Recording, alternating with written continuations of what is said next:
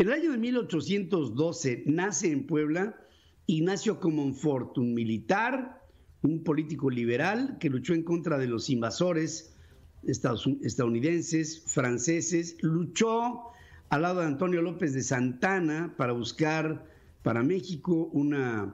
una, una soberanía y una autodeterminación. Fue presidente de México a nivel interino entre los años 1855, cuando deja el poder Juan Álvarez, a 1858, cuando toma el poder de manos de Ignacio Comonfort, Benito Juárez.